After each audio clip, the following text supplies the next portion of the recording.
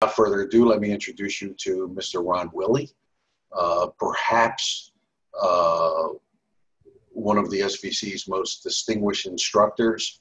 Uh, I've had the personal pleasure of working with Ron as a colleague, as a customer, as a supplier, and as a mentor. Uh, Ron has forgotten more about optical coating than I would have ever aspired to know.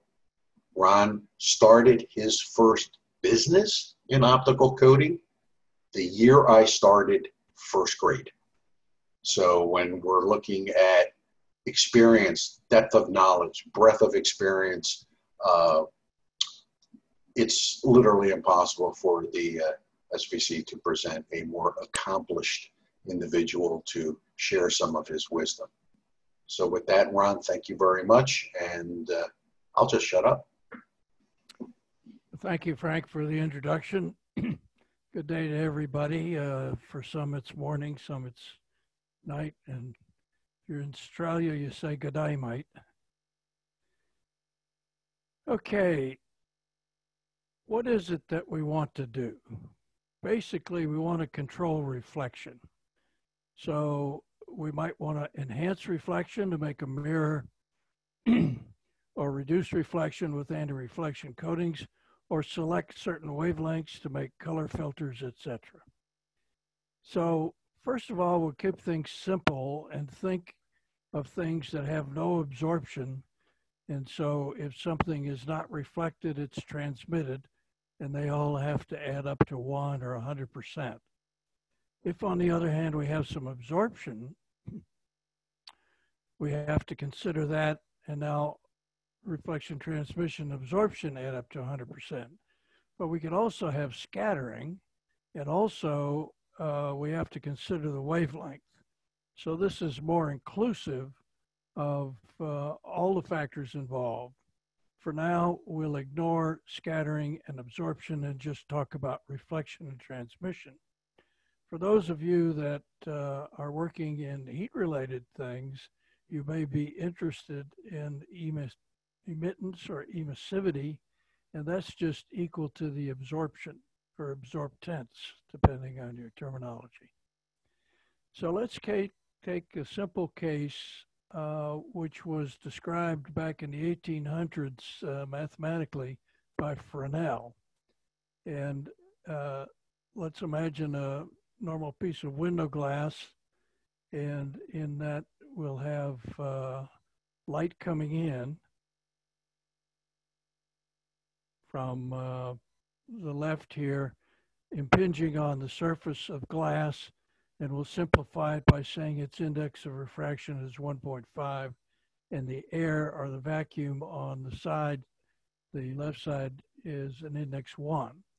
Some of the light is transmitted, but the reflectance here is described by Fresnel's equation.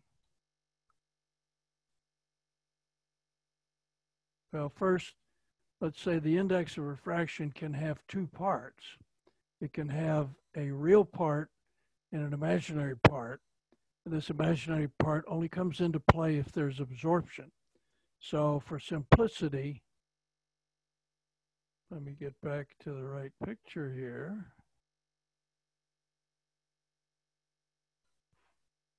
If it's non-absorbing, then we only have to consider the n value, and these are, of course, a function of wavelength.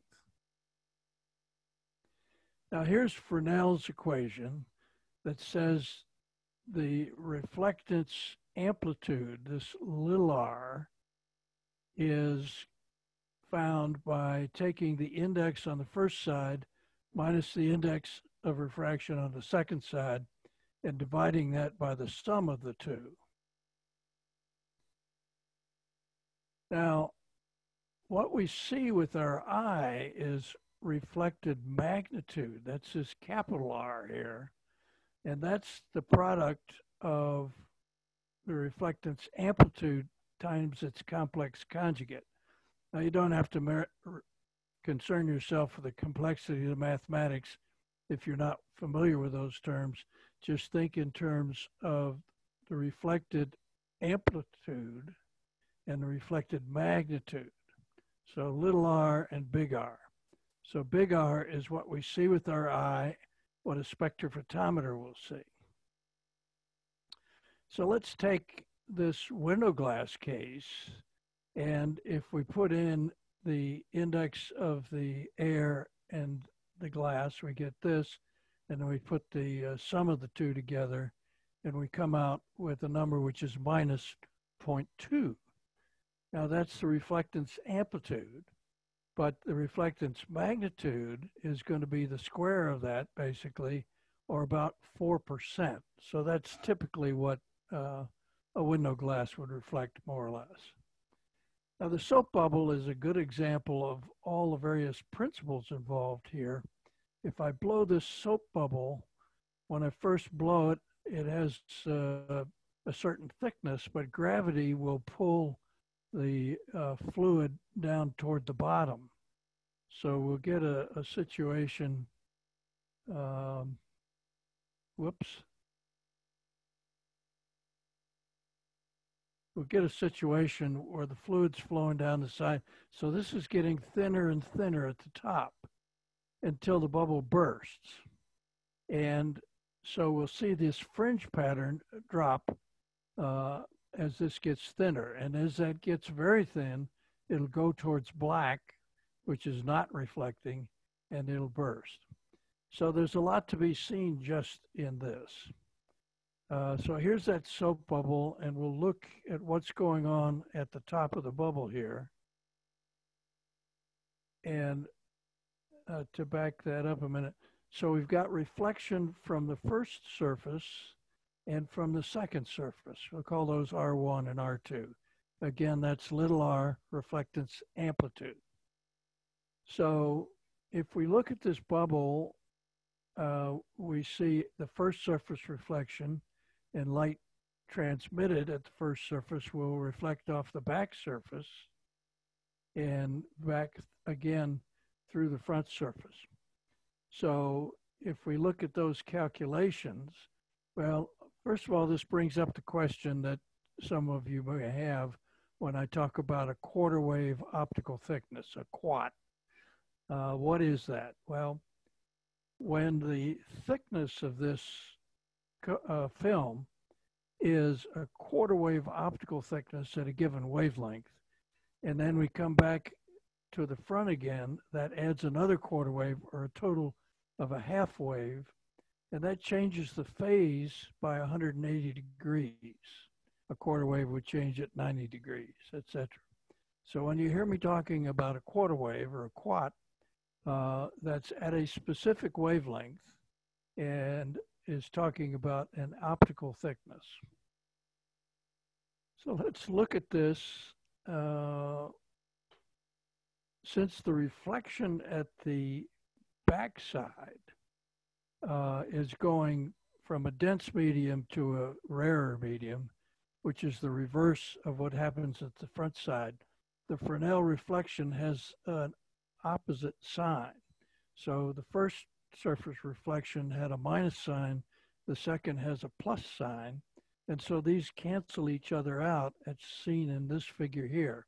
So R1 goes negative and R2 goes positive we could think then of this soap bubble as being a film uh, which has been deposited on a substrate of air.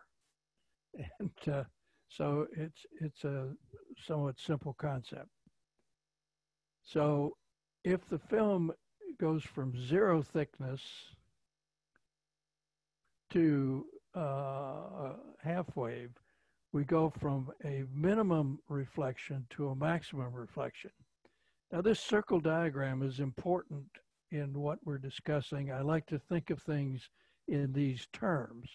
Uh, those of you in the field will also have probably seen admittance diagrams, and these are similar to those. Uh, they're just a conformal mapping of each other, if you like the mathematics of it. So if I start with zero thickness film, which is represented at these coordinates of zero, zero, and here we've got a real axis and an imaginary axis. And um, so again, here is zero, And whatever distance we go away from zero will be a certain little r, and we can square that to get the big R. So the reflectance is maximum out here and minimum over here. And the quarter wave point of maximum reflectance in the case of the soap bubble is over here. And then if I come all the way around to a half wave, it's as though I never had any thickness at all because I'm back to zero. So we'll talk again about the half wave, which is acting as an absentee layer, no thickness at all. Now, if you like the mathematics of it, this is described by this equation here, which is the reflection at the first surface plus the reflection at the back surface by plus a phase relationship, which will go from uh, 0 to 180 and back to uh, 360 in what we saw in the previous slide. And so these are the components here now, what we haven't yet touched on is the fact that there can be multiple reflections. So not only do we get this second reflection, the light reflected at the first surface going back again to the second surface is going to come back as the third reflection up here, et cetera, et cetera. And these will be getting smaller and smaller, but they do need to be considered uh, in most cases. So the, the true mathematics of that looks like this. What I showed you previously was this part divided by one, but to include the multiple internal reflections, we've got to include this term here, which will be relatively small if little r was 0.2 and so we got 0.2 times 0.2 or about 0.04. So there's only a, a 4% effect of this in normal window glass. But if we had something like germanium where this number is 0.6, now we've got 0.6 times 0.6 or 0.36, so it's over a third. And so this starts to have a more dramatic effect. So we need to consider it. But this is rigorous and includes the multiple internal reflections.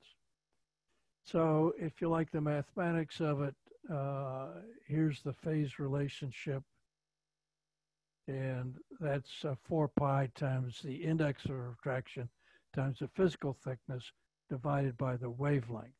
So when we're talking in quats, we've got to say quats at what wavelength? Now, here's the soap bubble and its numbers when I plug, plug them in here.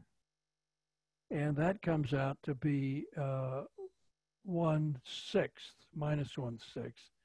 And so if I have the front and back side of the soap bubble, I get a little less than 3% uh, reflection from that.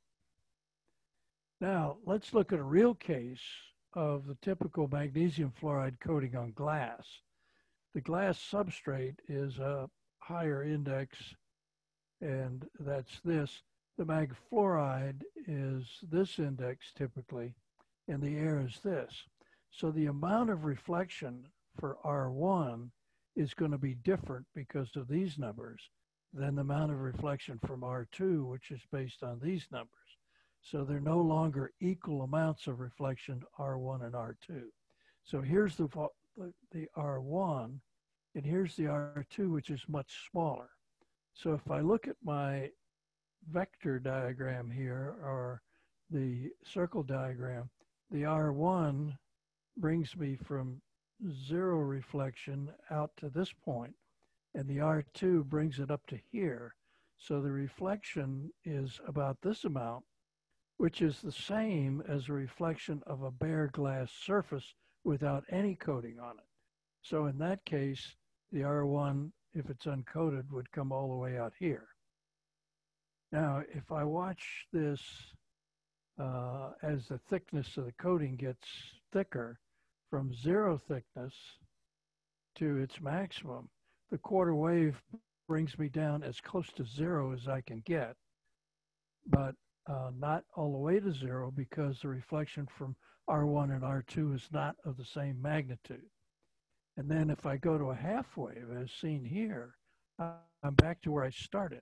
So that's why we call the half wave coating at one wavelength, it is an absentee layer. It's as though it's not there at all. So I'm going to be talking about these circle diagrams or reflectance amplitude diagrams uh, throughout the rest of this presentation. So I hope you are reasonably comfortable with that. Now, reflection that I get with this magnesium fluoride on glass is about one and a quarter percent.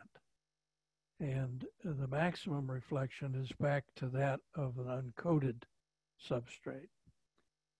Now, here's a somewhat representation of that same thing, where again, this is zero reflectance over here, and our maximum uncoated reflectance here. But now I want to talk about how things change with color. So uh, if this is just a quarter wave, quarter wave thick at green light, then I'm going to have my minimum reflection for green light. But red light, this will not have been a quarter wave thick. It's a longer wavelength, so it doesn't get as far in red light, and so I'll have a higher reflection at that point.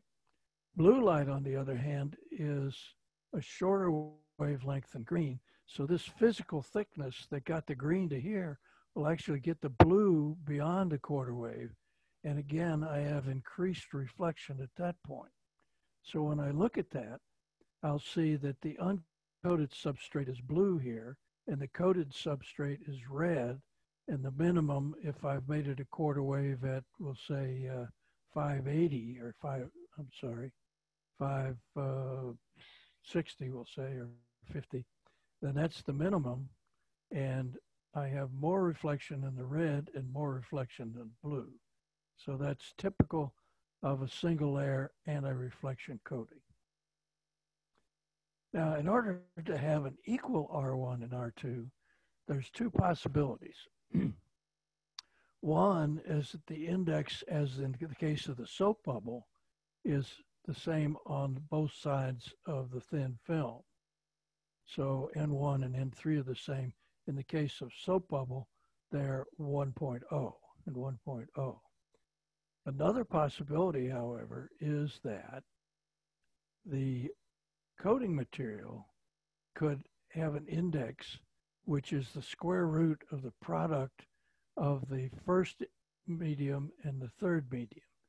So uh, this is a typical thing of saying if I get the right index for my coating material that matches the index of the air and the glass, then I would have zero reflection at the design wavelength, at the quarter wave wavelength.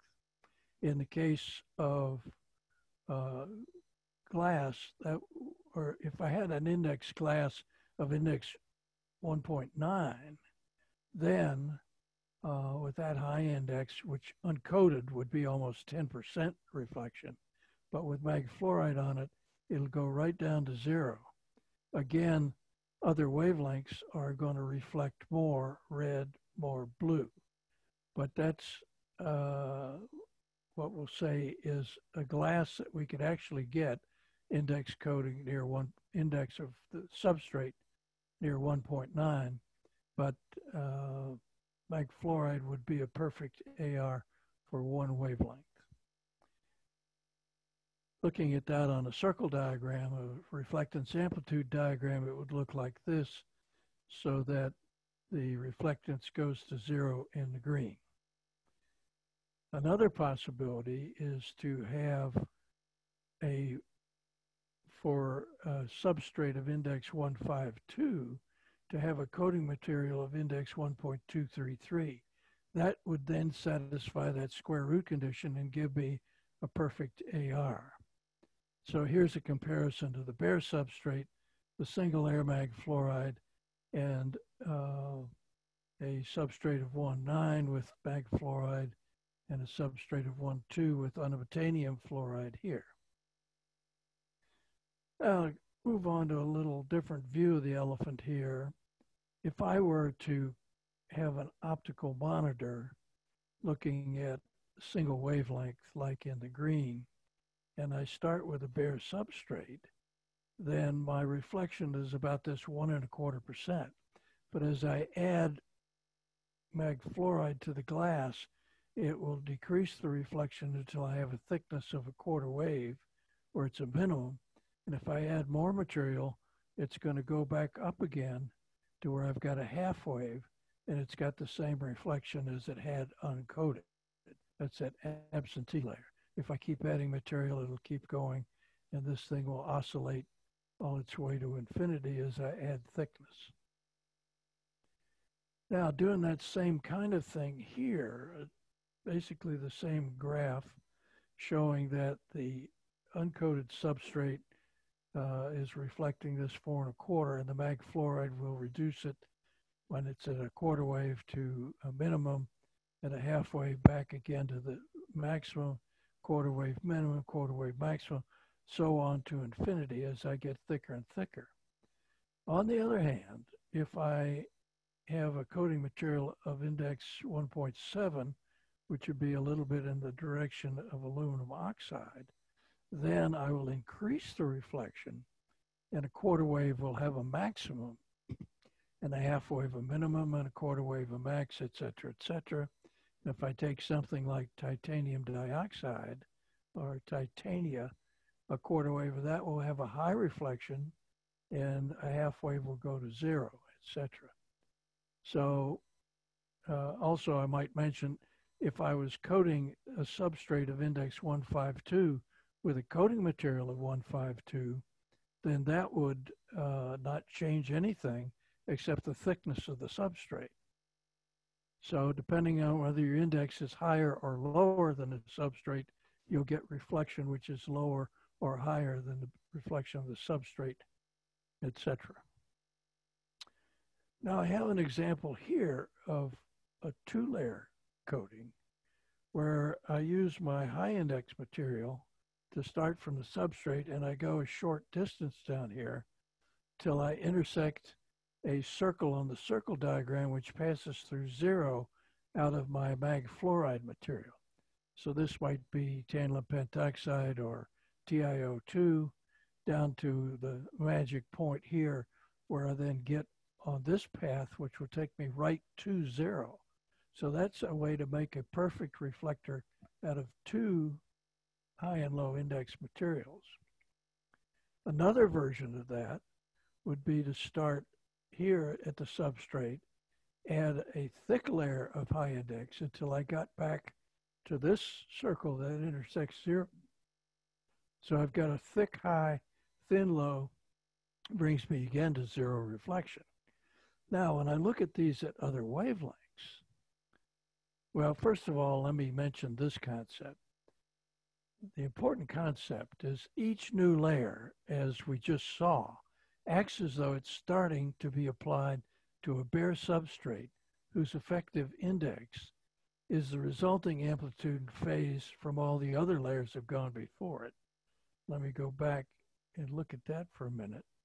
So what I'm saying is if I have this coating on the substrate, before I start with this coating, it's as though I had a substrate whose reflection was this and no other layers on it.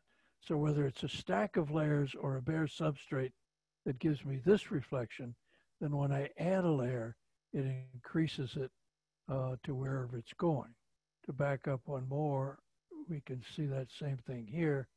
Uh, after the first layer, I'm here, and the second layer uh, will bring me around to some other. And if I happen to stop at zero, so much the better. So that's what this is all about.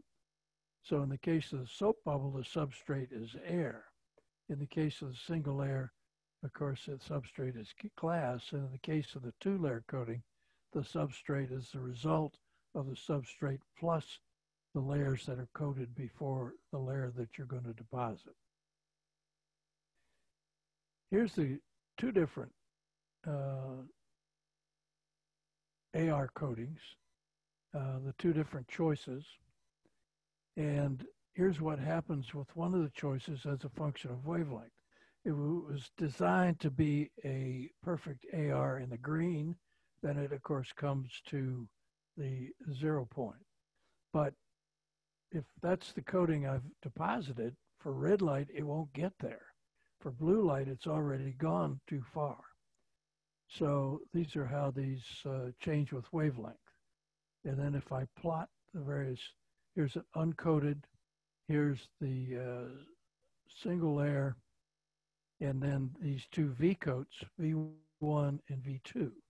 If I was going to produce these, I would prefer V1 because it will have more tolerance in how far you could go before the reflection came up. So it's a little broader, a little more forgiving. There's a special case where if I have the right index material for the first layer, it'll bring me to the magic point where this will go from, from uh, the maximum down to zero. So this is a quarter wave of a medium index material and a quarter wave of the low index material, making a perfect V coat. By the way, you can see why we call this a V coat because it comes down like a V, and this is another form of the V coat.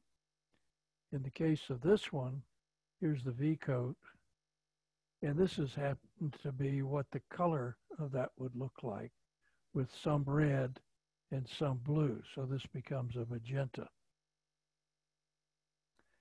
If I take that case with the two-layer V coat and stick a half wave of high index in here, I get an interesting result, which is what we call a three layer coating, which has a medium, high, low index, a quarter wave, a half wave, a quarter wave. And that makes a coating which behaves like this. In the case it was designed to be green and bring this right down to zero. In the red, it hasn't gone far enough with the first layer, and the second layer comes around and doesn't go quite far enough, but that turns out to be a good starting point to bring this endpoint in closer to here. So when I go to the blue, this has gone too far, but the half wave goes too far, brings me now to a good starting point for the last layer, which is coming in again close to my zero reflection point. So here's an animation of that. You can see that we're staying close to zero here for a lot of the colors. Not so good here, but good there, good there, starting to leave here. So up here is the wavelength of what we're seeing and simulating, and uh, that's moving along. So this is the basis of the common anti-reflection coatings that we see today a three layer coating. And when I look here at the comparison of these, I've got the uncoated substrate, the V coat, and the three layer coating, which has a nice broad band. So the reflection over the visible spectrum, which this represents from 380 to 780, is a very good AR coating. So that's the basis of most of the coatings we see on eyeglasses, etc. Although there are actually four layers, which I'll show you in a minute here. So here's the four layer version of that, where the first layer, which was a medium index layer, is now replaced by a thin halfway uh, high index layer and low index layer to get me over to this magic point for the half wave or what's called an achromatizing layer. And then that brings me back to uh, the zero reflection. So that four layer uh, really does the same job as the three layer. And most people prefer it because it's only losing, using two materials, a high and a low, and not uh, the three materials, high, medium, low. So here's a comparison, bare substrate, single layer AR, three layer AR, four layer AR. And these are not different to the extent that you could tell them by looking at them or within the variation of production errors, you might say. Let's change the subject a little bit now to talk about this reflectance amplitude diagram or circle diagram and how I make a high reflector if I want a mirror. So in this case, I start here on the uncoated substrate. I put a high index layer, which increases the reflection. Because remember, the reflection is the distance from zero out to wherever I am at that particular point. So the measure of reflection is how far do I go from zero out to one here, which would be 100% reflection anywhere on this circle. So if I have a quarter wave of high, quarter wave low, quarter wave high, quarter wave low, et cetera, et cetera, I can bring myself out towards this edge here and make a high reflector. So uh, in a typical design program like uh, I use, uh, we'd have uh, that represented as a quarter wave high, quarter wave low, in parentheses repeated four times. So that describes this coating. So that's a shorthand, or you could spell it out high, low, high, low, high, low, etc. So if I look at that as a function of wavelength, at the designed wavelength here, uh, it's a very high reflector. And uh, as I go off wavelength, I start to lose that. In fact, I'll get out to where it's actually passing the light instead of reflecting it. And on the long wavelength side, we'll call that a long wave pass filter. On the short wave side, we call it a short wave pass. How do you like that for logic? Uh, I can also, by uh, advanced design, get rid of these weeds on this side and knock it down low, or get rid of the weeds on this side, or in some cases even get rid of them on both sides, more or less. Now, I'll show you a different scale here. The uh, reflectance scale is still the same, but this scale down here is different. Excuse me.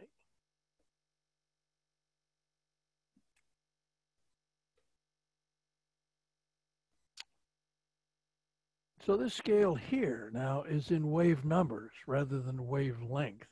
So this is the number of waves per centimeter. So this, in fact, would represent 10 microns, and this would remember, represent 5 microns, and this would be 20 microns.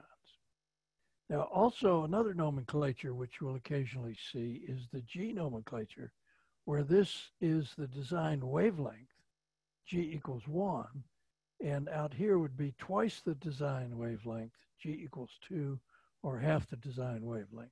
So we may use these different nomenclatures.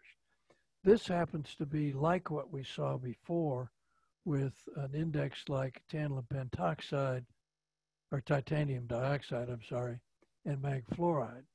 So one layer, 1H, would give me this reflection, uh, add a layer pair of one H, one L plus that same H, I move up to here, and every layer pair will increase this reflection higher and higher.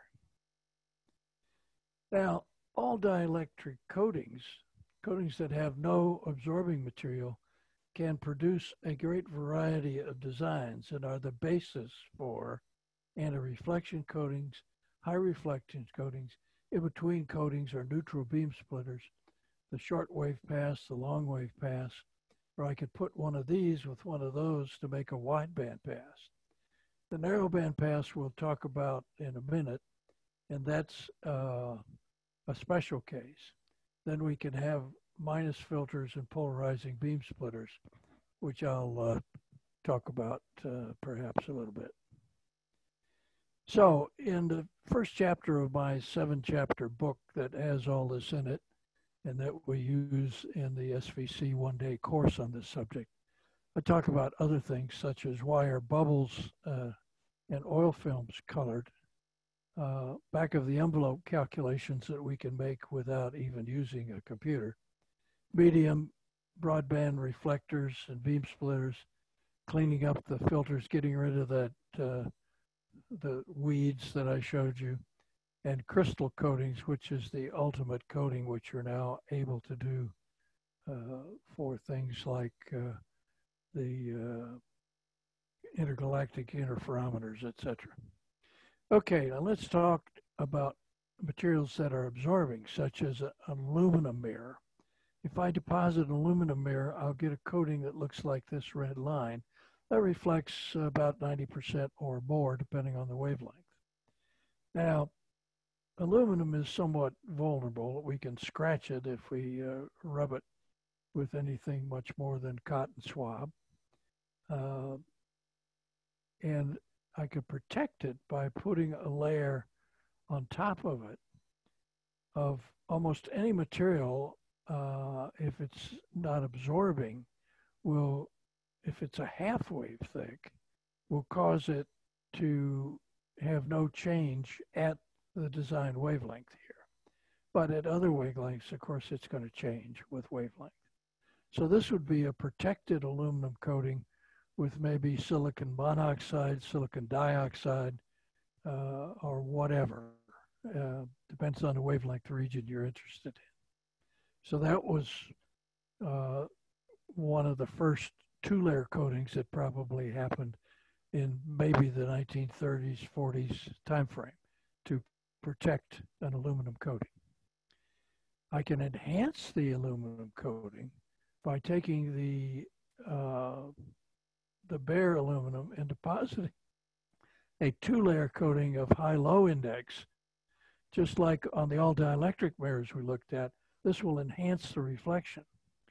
And you can go on with more and more layers to increase the reflection at, uh, at wavelength, although it will decrease the reflection at other wavelengths.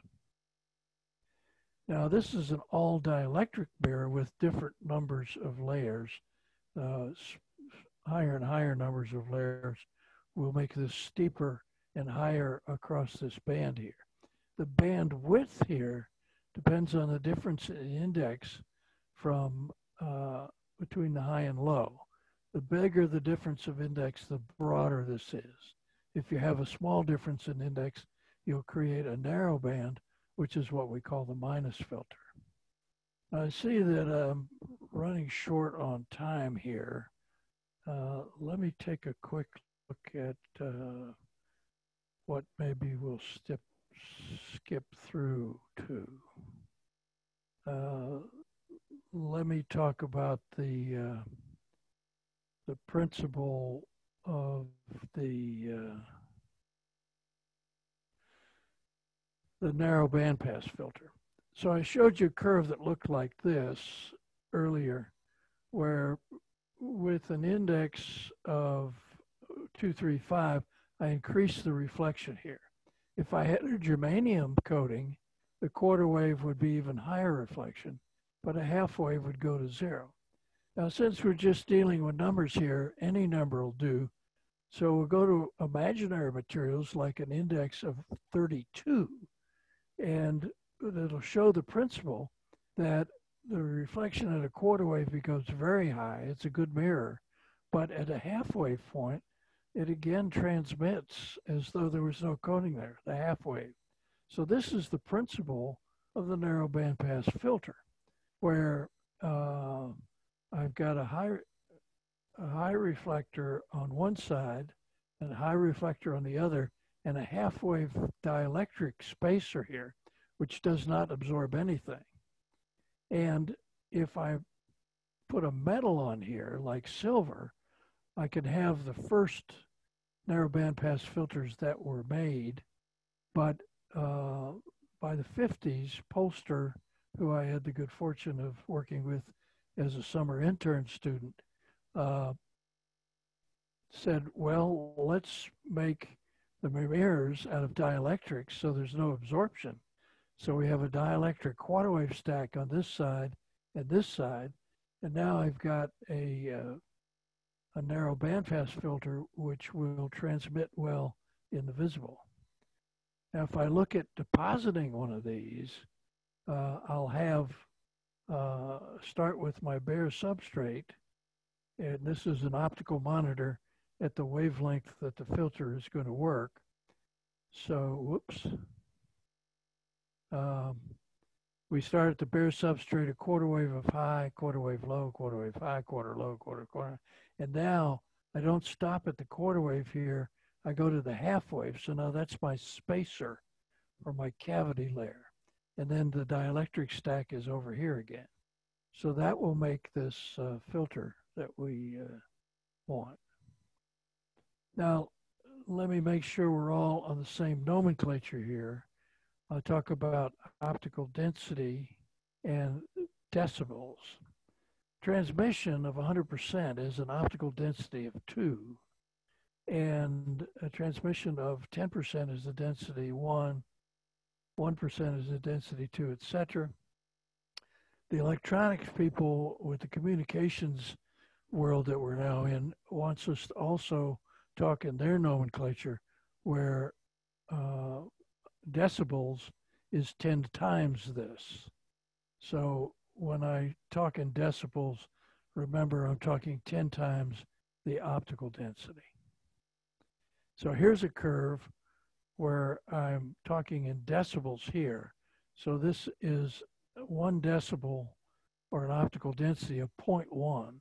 So this is very high transmittance actually, but that will be the bandpass of a filter that has this design as I pointed out to you previously. And if I look at it on this scale, here's up to uh, optical density of four, for example, four and a half, showing that this filter has a very narrow bandpass and a big blocking range here and a blocking range here.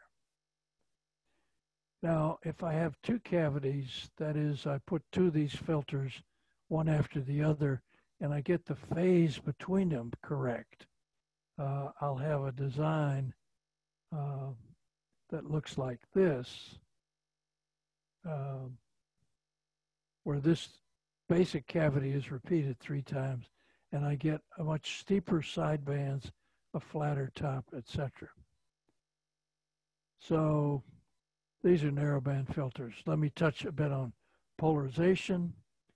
Uh, we have here the uh, incoming light, whoops, the incoming light is polarized with uh, S and P polarization, where the P polarization is plunging into our surface here.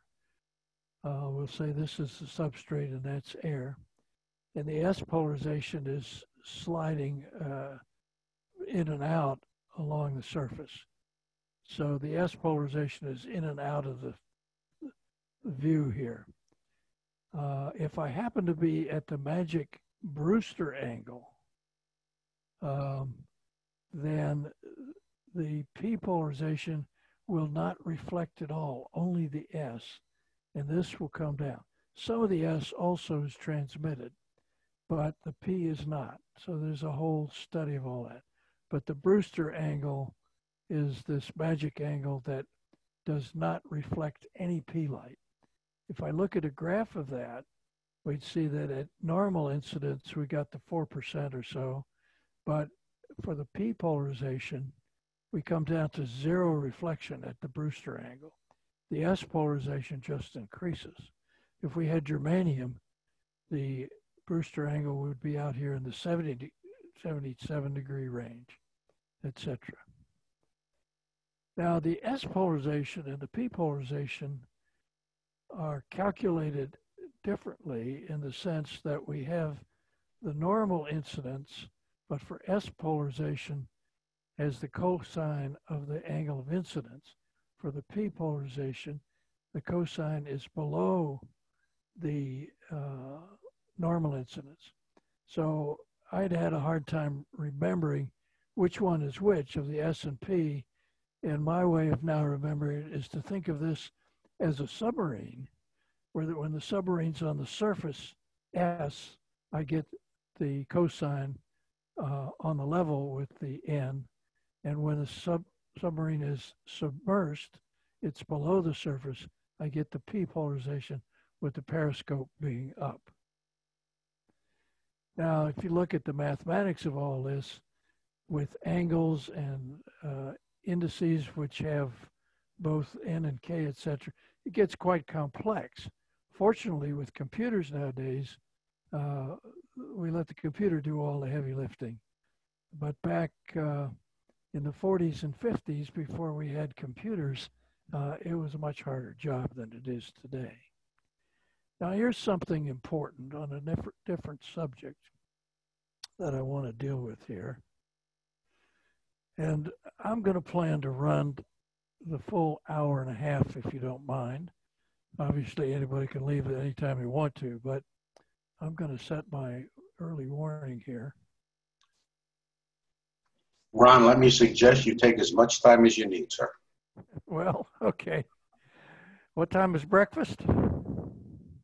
Uh, we want to make sure that we leave a little bit of time to answer a few questions Okay, might have. So just please continue on. okay, thank you. You're a gentleman and a scholar.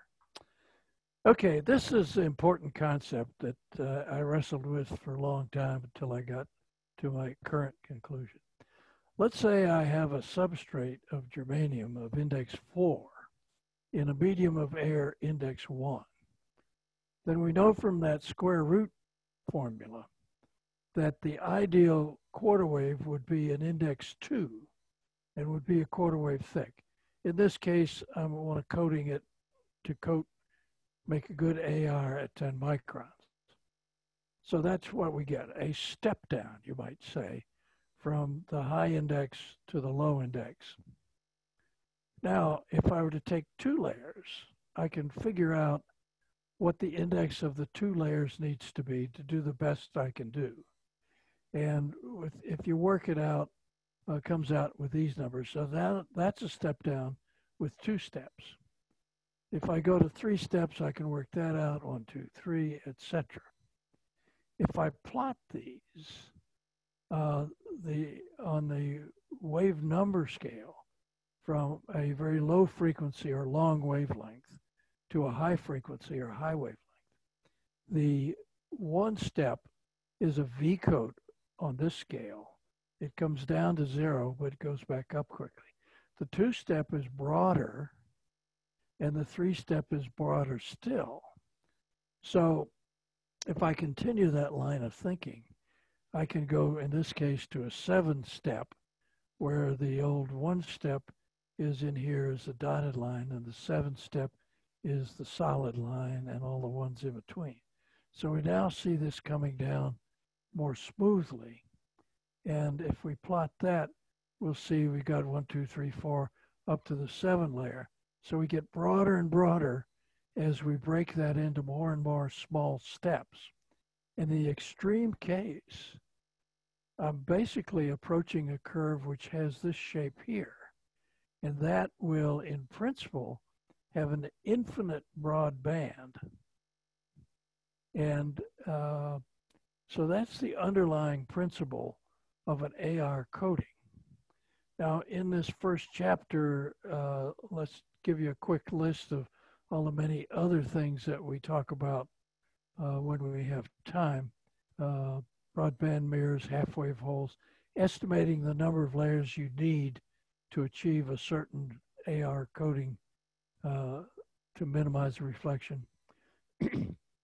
the design of multi-cavity narrowband pass filters, controlling and estimating the bandwidth of broad and narrowband pass filters.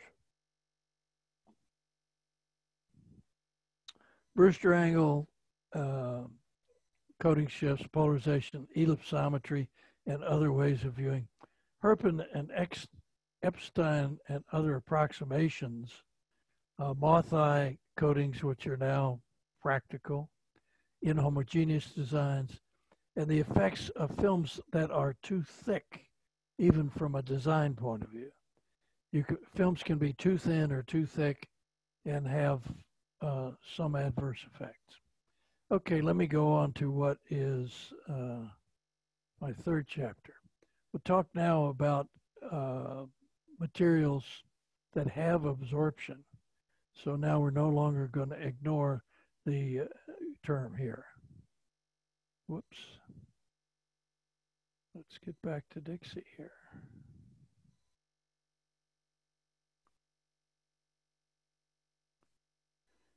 So we've got absorption that's coming into play here. So the absorption is a constant 4 pi times the k value, which we see up here, divided by wavelength.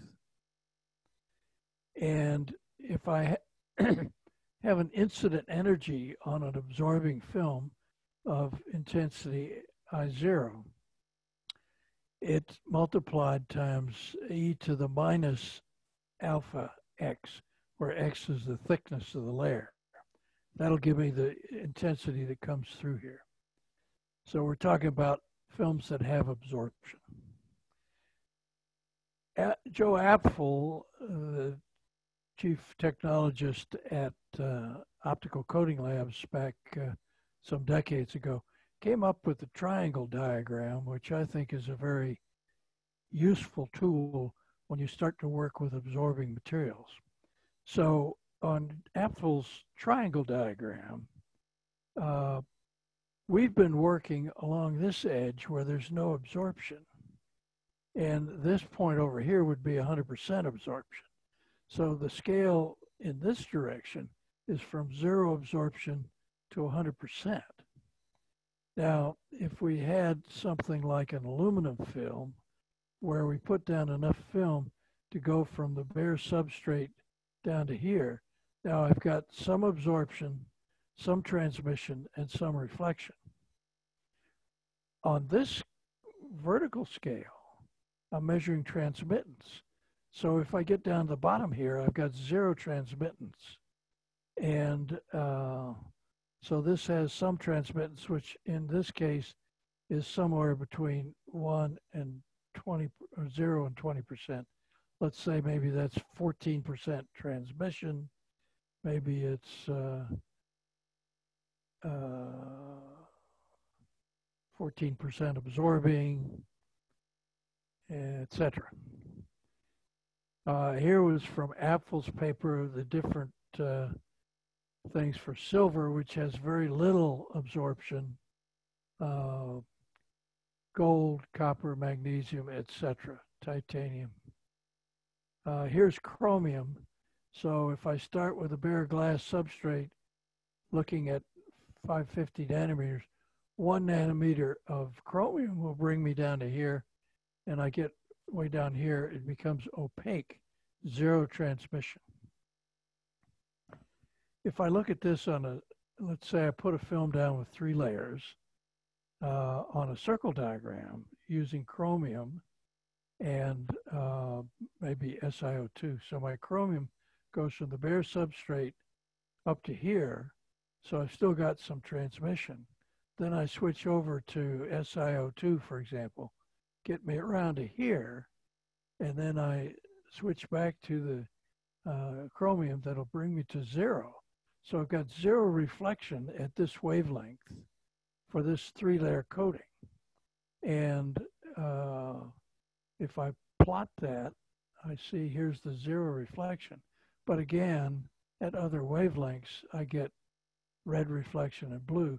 So this would be a coating that was purple or magenta, but it is zero reflection at the design wavelength.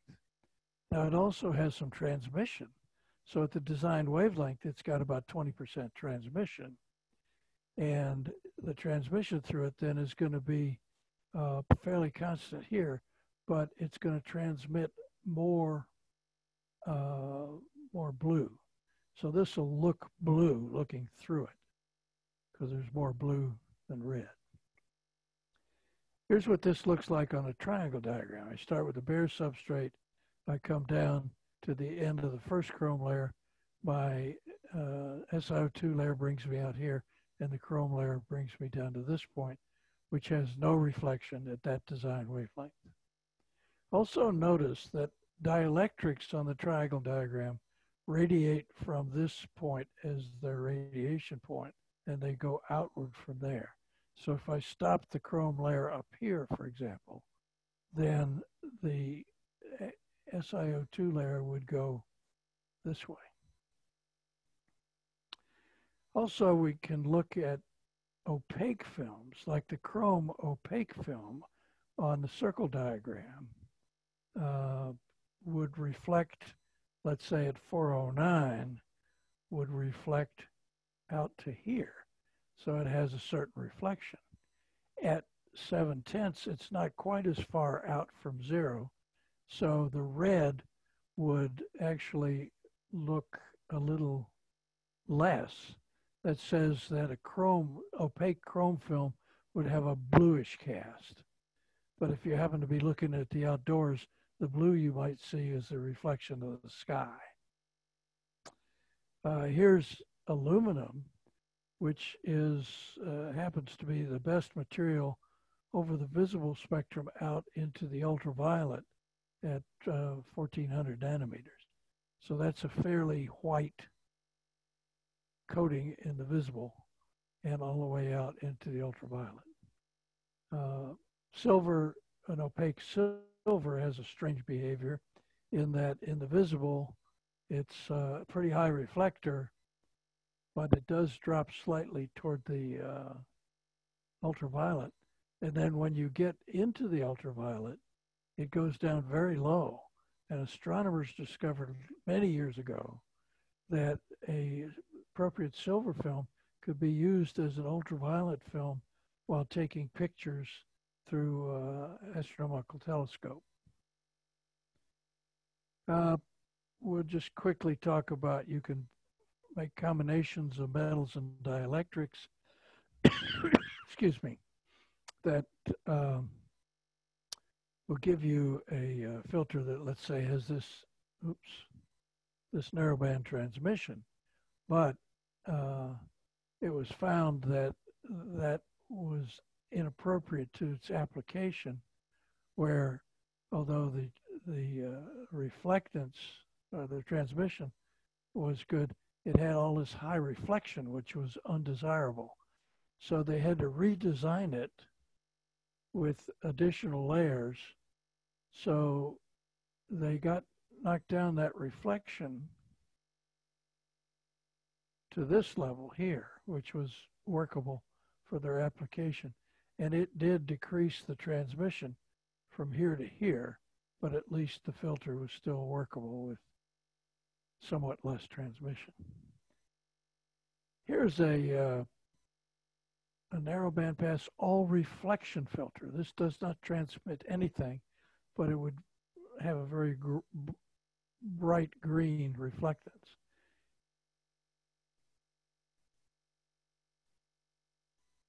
Now, here we talk about electric field, which is important if there's any absorption in a film. And here's the dielectrics of this particular green filter, reflection filter. This is the dielectric stacks reflection through here. And then here is a very thin metallic film, which has some transparency. At this wavelength, the design wavelength, we'll say, the electric field has been designed by the design of the dielectric layers to have very low electric field when it gets to the, the dielectric layer. And so the absorption there is quite small. On the other hand, at this wavelength, which is in the blocking band, the dielectrics bring it to where the electric field is this coming up to the dielect or uh, to the metal and in the film, the electric field is way up here as opposed to when it was way down here. So this absorbs like crazy out here. And that's what gives us the absorption we see here and the transmission here. Well, viewing that on just a simple triangle diagram, it would just look like this line here. So I added the dimension of the thickness here to what I call a prism diagram. And uh, uh, so now we can see what's happening with the dielectrics. So this is at the design wavelength where the reflectance is still high. Remember, reflectance is zero here and 100% here. But wavelength, all of a sudden, whoops. if I shift wavelength, all of a sudden this goes way over here. So you'll see that swishing left to right, right to left, as I change wavelength. So the prism diagram, although I haven't seen anybody use it but me, I find in cases like this, it helps visualize what's happening. Okay, other things in uh, chapter three, we deal with potential transmittance, uh, the triangle diagrams of various metals, materials, circle diagrams uh, of various materials. Black mirror design has become important nowadays. AR coatings for neutral density filters. Again, here's this. Now let's talk about harmonics. We've been looking at uh, quarter wave stacks where we've only been looking over this sort of band here. But if I uh, use the optical density scale and the wave scale, uh, if my design wavelength happens to be, uh, let's say one wave number here, or you could multiply this by a thousand or whatever number you want. But I like the uh, wave number wave number scale because of the symmetry of things we see here. So here's what we've been looking at. But if I look where these are quarter waves, if I go out to three quarter waves, all of a sudden I've got the same behavior as here, or five quarter waves, same as here, because three quarter waves is just one quarter wave plus a half wave, and we know that half waves are, act as though they're not there. So this would be one quarter wave plus two half waves, or one quarter wave plus three half, etc. So my nomenclature here, I'll talk about this is an important nomenclature.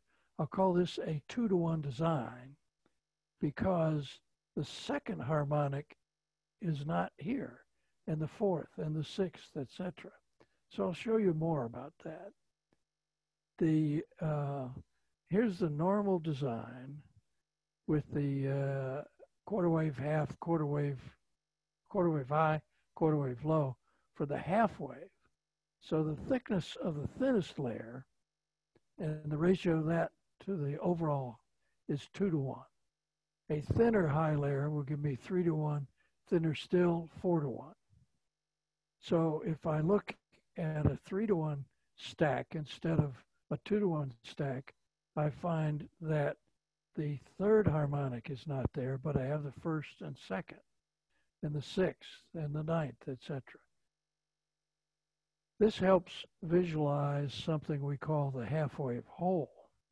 If I'm not exactly two to one, that second harmonic, which shouldn't be there, starts to sneak in and creates that half wave hole.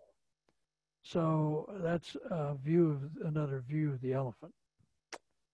Uh, here's a four to one stack.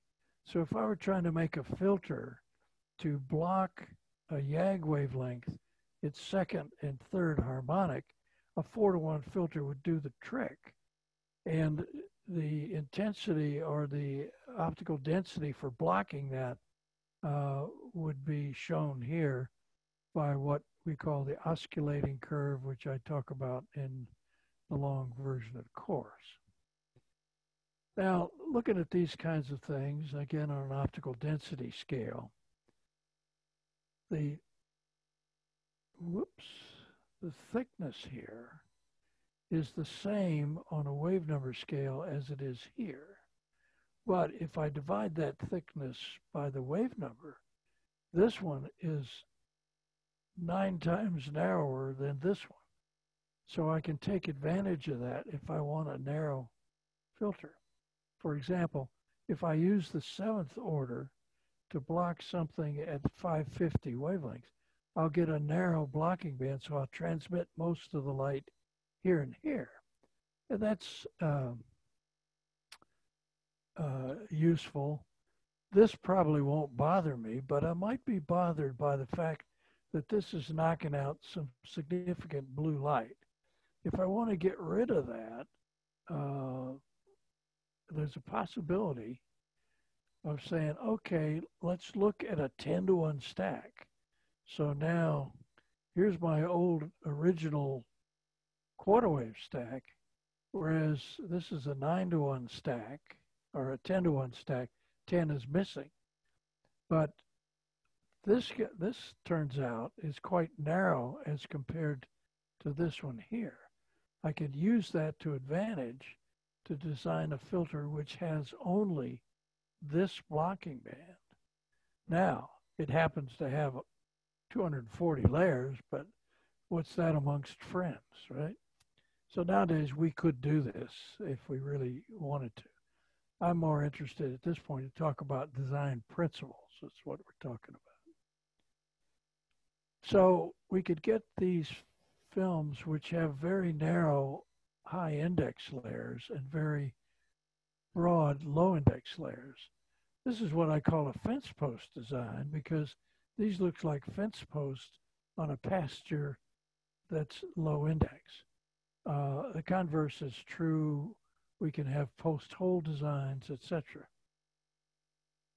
Um, let me go through just one more thing. I've got so much more material I'd like to share. We don't want to go for too many hours here. So this was a paper talking about these narrow, uh, thin layers. The shortwave pass filter is limited in the case of the usual quarter wave stack designs. When the band passes are broader than about two, we need a short for the need of shortwave filter. We want to go to Rugate-like designs. Well, let me define what I'm using as bandwidth here. It's the longest wavelength in the band divided by the shortest. So in this case, uh, on a wavelength scale, here's the longest wavelength in the band and the shortest. So this would be, let's say, from 1600 to 1400 or a bandwidth of four. That's my definition. So again, on the wave number scale, here's a short wave pass and a long wave pass. What I'm saying is this short wave pass is limited to this band here because that third harmonic will come in and get in our way. So we got to get rid of that third harmonic to go broader. So that's what this uh, discussion is all about in the, the original paper that I was talking about. So we're limited uh, if we're using only quarter waves to uh, something that looks like this. So it, it basically falls apart when we get to bandwidths much over two.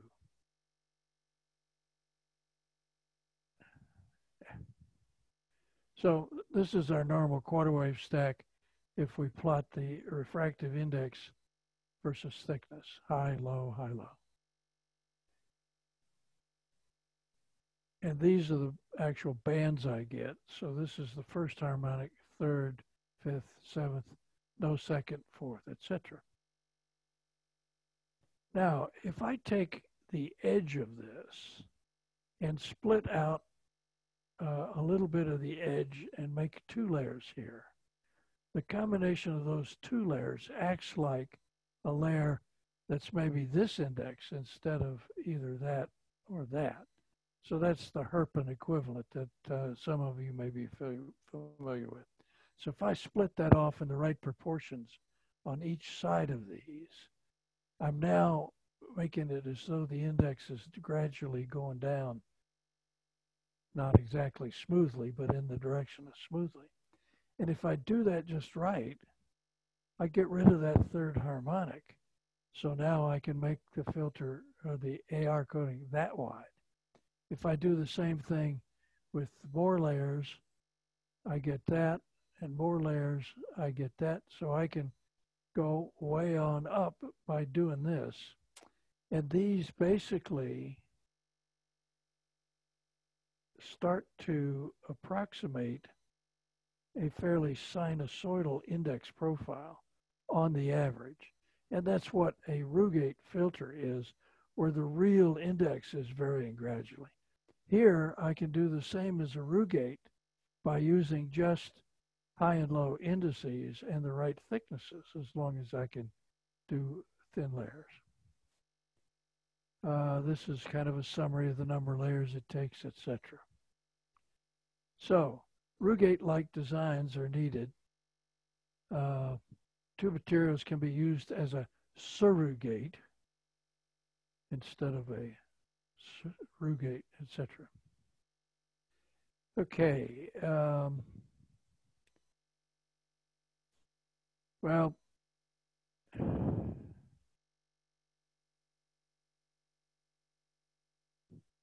uh, I'll go ahead and ramble on here. Thank you, Frank. Okay, it's important to have the reflectance and transmittance of the films that we know exactly what we've got in order to prove this to our customer. We also need to know it so we can develop our process. If we don't know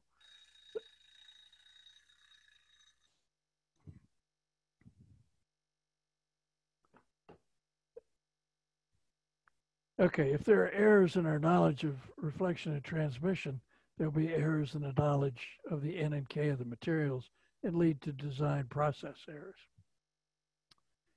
So uh, one thing is to make sure we're well calibrated in our spectrophotometers or uh, ellipsometers if that what we're using, but most of us use spectrophotometers. Uh, so we need to trace a 100% line and a zero line so we know where those are. They're not usually exactly 100% or zero, particularly the 100%. The zeros might be better. And then we run our sample, get its trace, and then I can use this simple formula to calculate or calibrate what the true transmission is. Now, if I'm doing reflection samples, I need some attachment such as this and do the same kind of things.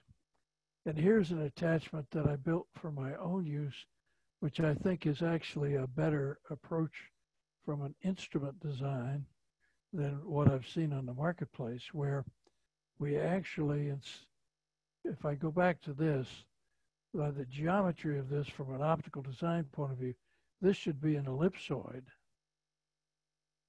which uh, focuses an image which would have formed here onto the sample up here. So that's a, an elliptical with two foci, and then this would be a symmetrical one so that the beam the spectrophotometer thought focused here will come back into the spectrophotometer being like it came from that point.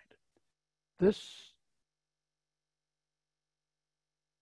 this does that um, in a better way in that this is a flat mirror, that's a flat mirror, that's a flat mirror, that's a flat mirror, and these are spherical mirrors approximating an ellipsoid that would focus this point onto that point. So this is the simplest, cheapest kind of thing you can do. I've made a few of them that work fine. I digress. So I go through discussions of the various measuring instruments, uh, etc., which I won't belabor here. And these uh, things like the um, uh, Ocean Optics are very nice. I've had a bunch of these and got them for my customers and been very happy with them. So I go into long discussions about all that stuff and calibration. Uh, in recent years, we've now had instruments like the uh, Cary uh, UMS, which the beam falls on the sample and the reflected beam is picked up by this detector or this can swing around here and measure the transmission. And the experience I've seen with working my customers who have this, this seems to uh, work pretty well. It's fairly complicated from a software point of view, but uh, Fred Goldstein, who's was listening here today, uh, has overcome that problem for some of his customers. Uh, another application of this geometry is available uh, by Photon RT, and uh, I've seen very satisfactory results from them. Okay, other things covered uh, in chapter five. Uh, let's talk briefly about uh, index of refraction and determining what it is so you can design properly with it. So atoms are like a bowling ball on a spring. And if I uh, hold on, grab onto this here and move it up and down, then the bowling ball will move up and down. And uh, if I move it up and down slowly, the bowling ball will follow it accurately. But if I move this rapidly up and down, the bowling ball is hardly going to wiggle. And this is what happens with atoms in our uh, materials, substrates, coatings, etc. Uh, here's actual data from uh, Palik's tables on the resonance or the N and K dispersion of silicon monoxide. So the K value has a lot of absorption right around nine or 10 microns, but is a good transparent material out uh, to maybe seven or more microns. But this resonance we see here is like that bowling ball in that here's typical behavior. If the bowling ball were in a barrel of oil and I move it, it's going to not respond very much at resonance because of the damping. But if there's if it's just in the air and I'm at the right frequency, the bowling ball will oscillate strongly. So that's this resonance we see here. But in a barrel of oil, it would be damped out and, and not much. On the other hand, the phase of the bowling ball, if uh, it's in air, will track very closely, uh, except at resonance where it changes phase 180 degrees. But if there's a lot of damping, it'll do this. So uh, we go into a lot more detail about that, but to mash on here, if I were to deposit uh, a uh, four quarter waves of TiO2, the optical monitor signal would look like this. The bare substrate, a quarter wave, half wave, three quarters. I deposit that film, then I look at its spectrum. It'll look like this.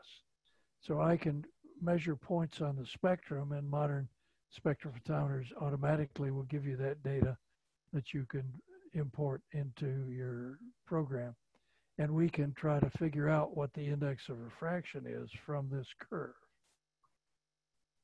Now, the simplest approximation of that curve would be to say, okay, I have index of refraction, which was the same at all wavelengths, so it has no dispersion. But if I uh, want to add some dispersion effect, I can use this simple formula. So here's a constant factor plus this, which is a function of wavelength. And I can get a fit, which in FilmStar is called a dollar quad fit. Or uh, I can have another version called a quad K, which will fit a similar formula for the K value. And when I do something like that, I'll get an optimization that fits it pretty well. Maybe good enough for simple work. But if I look at the transmittance curve, I find that when I do that, I've got a fair discrepancy here. And that tells me from the transmitting curve that I've got absorption in my film. I would not see it so clearly in the reflection curve because these are the same reflection and you don't, don't see that effect so well. But that tells me there's absorption so I need a better fit if that's important to me. And so by using the dollar quad, I can get a better fit. Still some discrepancy, but I'm now taking into account the absorption. Uh, I'll go through a bunch of examples here. This is a, an extended version of what had just these two terms. This third term, Cauchy, is attributed to this. And there I get a better fit in reflectance, transmittance, etc. Um, now we've extended Cauchy and uh, Tikhonravov and his associates have applied this formula, which is a better fit to nature. So these are the equations which are among the more sophisticated, and this is Alexander Tikhonravov and his other associates that you may know. So with this extended fit, we get quite a bit better results. And uh, here's the transmit fit. So that's good enough for government work, as we say. In fact, it's good enough for probably anybody's work. Uh, so here's a good good fit. You can see the uh, bare substrate and the coated substrate. So now we have determined to satisfactory accuracy the index of refraction of the high index material, in this case TiO2. Uh, now, Mr. Willey, Yes. excuse me, we, we do need to wrap up, sir. Okay. Okay. Uh, I will do that. So, lots more I'd like to tell you, but uh, we will uh, call it quits for there. Uh, we certainly will be happy to talk to these things in the course or courses. Uh, So let me jump in here, Ron, for a second. So uh, if you go to your question and answer box, uh, you'll see the best advertisement for everyone attending to either engage Ron as a consultant or take Ron's uh, or one of Ron's uh, tutorials uh, at the TechCon. Uh, what you have just seen is an overview of what typically takes a minimum of eight hours to do in a typical session. And uh, Ron, on, on behalf of uh, everyone in attendance and the SVC, I want to thank you for uh, sharing your, your perspective with us. We have a number of questions, um, and I'm going to allow Dr. Kumar to speak, uh, and I'm going to suggest that uh, we have time for possibly one or two questions afterwards. So, Dr. Kumar, you are, you, your microphone should be enabled. If you were to unmute yourself. There we go. So. Good morning, uh, sir. Good morning, sir. good morning. I'm very much glad to listen the speaker from you, sir. Uh, as of my PhD was uh, completed by your uh, book only. Well, I'm glad you got your degree. As well as uh, right now, I'm working on uh, window applications. For that, uh, the float glass will be used as a substrate. Okay. So in that, uh, I am understanding that uh, it doesn't have 4% reflection per surface. It is having 8% reflection. How you do this kind of calculation for calculating the reflection and transmission? Okay. Each each surface reflects uh, four percent or a little more. So for two surfaces, you'd have eight percent or a little more. No, it's per surface for normal optical glass, it is 4%. But Yes. in the float glass, it is giving 8% reflection per surface. So both surface, it is giving 8 plus 8, 16%. How you do this calculation in the in the terms of uh, transmission measurement and reflection measurement while we are going per, to perform number of optical la- optical coatings on the float glass? Okay. Why is it reflecting eight percent per surface? Yes. Why? As well as I am thinking that during the transmission measurement from the UV visible spectroscopy, it is giving 8% reflection of the float glass uh, component. of- Uh, I have seen that one. That kind of substrate I have. I am having. Okay. Uh, how about uh, you and I have an email conversation uh, because there must be something going on.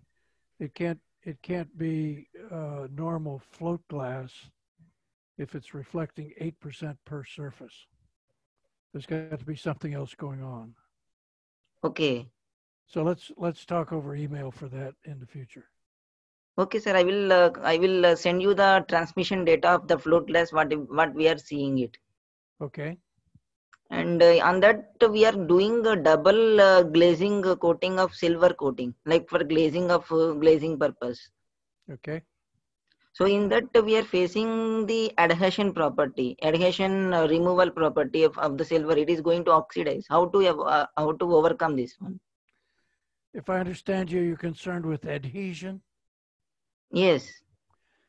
Yeah. Well, that that's kind of the subject of my production course, which we'll do like this uh, later this month.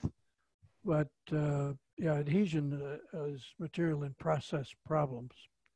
And we could talk a little about that in email. Back to your um, your first question about the uh, index of the substrate. If we can properly characterize the substrate, whether it's 4% or, or 8%, we can still include that in the design process. So by email, we'll talk uh, about characterizing your substrate, whatever its index, and then using that in the design process. And with respect to adhesion, of course, that's a whole nother subject, but I'll be happy to talk to you about it uh, in an email.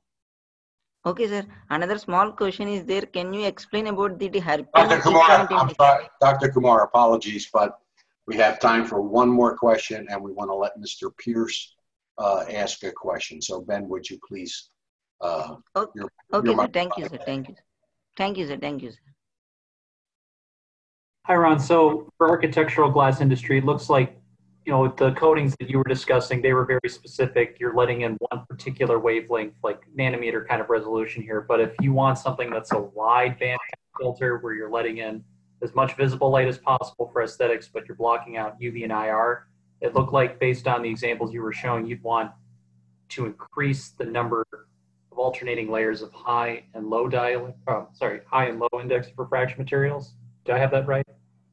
Uh, it sounds like it. Basically, to increase reflection with dielectric only, uh, you've got to increase the number of layers, increase the number of interfaces that are reflecting.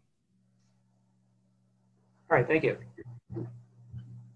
So, so let me just uh, wrap this up for everyone. You will all receive um, a follow-up email.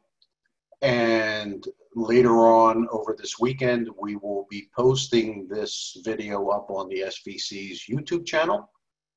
So again, uh, Ron, thank you very much for uh, spending your time to share with us uh, your expertise, and let me thank our attendees for taking the time out of your day to uh, sit and join with us, uh, have a cup of coffee. Well, it was a 90 minute cup of coffee, but it was still a good cup of coffee. So thank you all. Thank you.